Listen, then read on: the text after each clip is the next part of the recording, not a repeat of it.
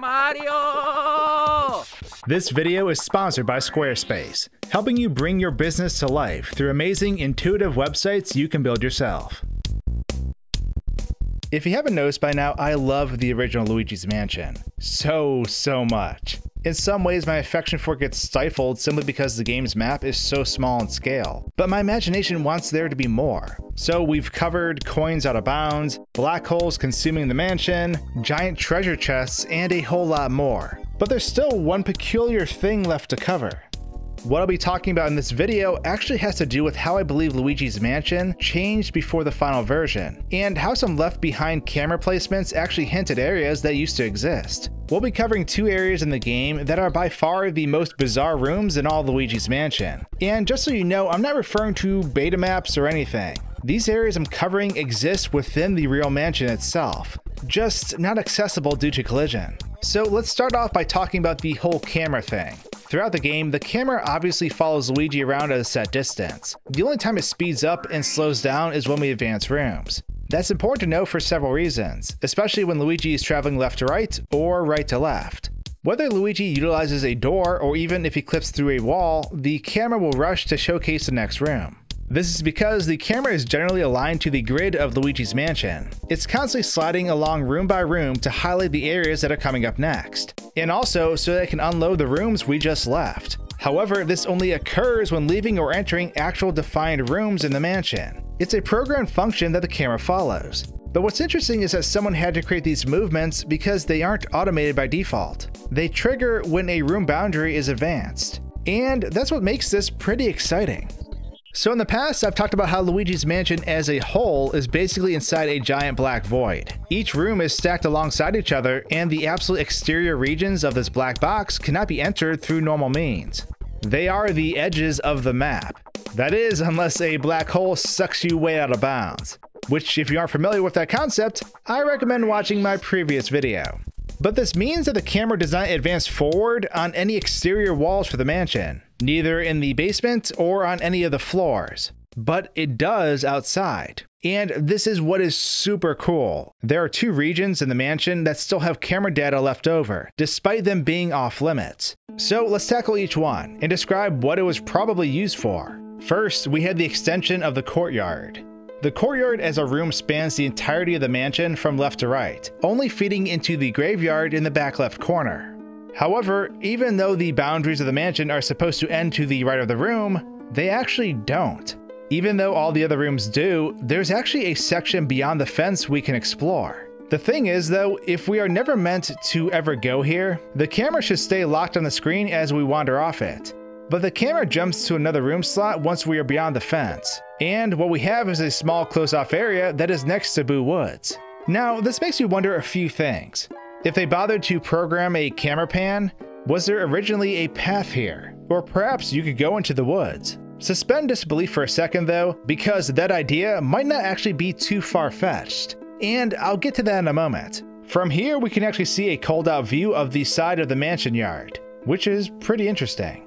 Now let's swing over to the next area, a place I believe used to be an extension to Area 2. When we're going to face Bogmire, the boss of Area 2, we end up traversing through the boneyard into the graveyard. However, part of me thinks the process of doing so wasn't as simple as it is now. Currently, you have to scan the doghouse, get swept up by the wind, and you're spit into the graveyard. But just like the courtyard, we have a room that's actually next to the graveyard. The interesting thing about this room is that it appears to have the collision of a tunnel, as it's narrow and only walkable near the line that divides the boneyard and the graveyard. It continues onto the edge of Boo Woods underground, and then just stops. In many ways, it mirrors the courtyard area we just talked about. Something to note is that this region isn't cleared as Luigi begins to hum his haunted tune. His flashlight clicks on too, even though the rooms we just left were clear and fully brightened, which make it so you don't need a flashlight. This means this tunnel area is under a different status than the previous rooms, meaning it's deemed as a hallway or a new room entirely. Even if the entire mansion is cleared, this still happens. So it might be hard to tell based on the footage, but the area we are in is basically like a rectangle that extends to the left of the graveyard. It's important to note that it's impossible for Luigi to move out of bounds anywhere else in this room except for this region. The areas up north cannot be moved past. as it is the absolute edges of the map. But this tunnel area is completely different.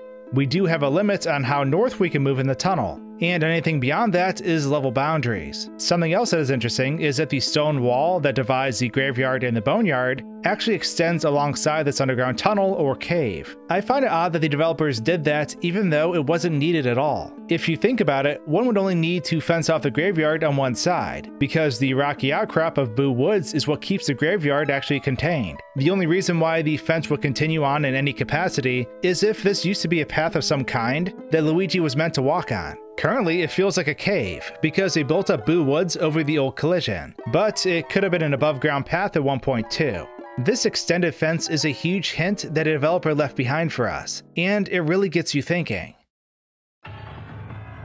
So this is where we dive into Theoryland for a bit, because I strongly believe these areas actually allowed Luigi to leave the mansion to go to other places.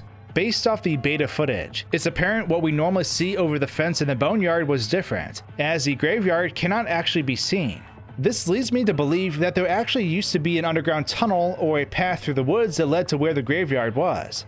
The graveyard wasn't north of the boneyard, it was next to it or farther away. Since we don't have any records of what Luigi's Mansion was like when it was on the Nintendo 64, it's hard to tell how much the world changed, but we do have one clue that solidifies this way of thinking.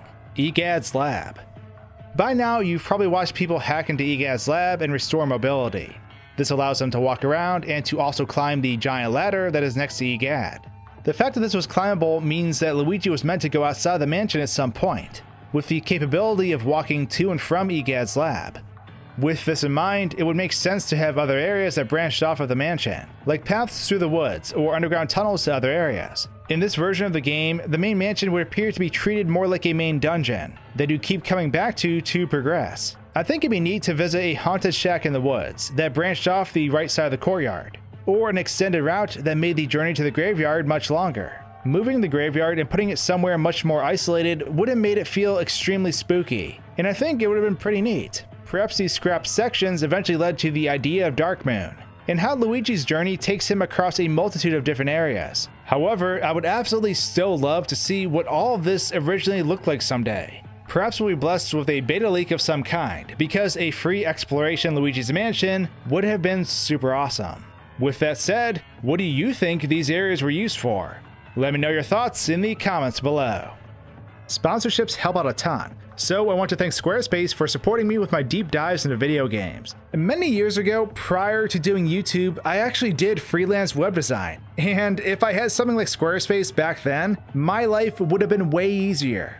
The slick templates they have allow you to design eye-catching, stunning websites to promote your business or side hustle in just the right way. They make it easy so you can create the online presence of your dreams without having to understand all the coding you'd normally need. So, ready to create your new website? Make it with Squarespace and get 10% off your first Squarespace order with offer code SwankyBox. You can find an offer link in the description below. And I want to thank Squarespace for sponsoring this video. And with that, thanks for tuning into this haunted speculation. Perhaps you'd like to see how to summon black holes in Luigi's Mansion, or go on a knowledge quest to find the lost coins in the game. Give either video a click.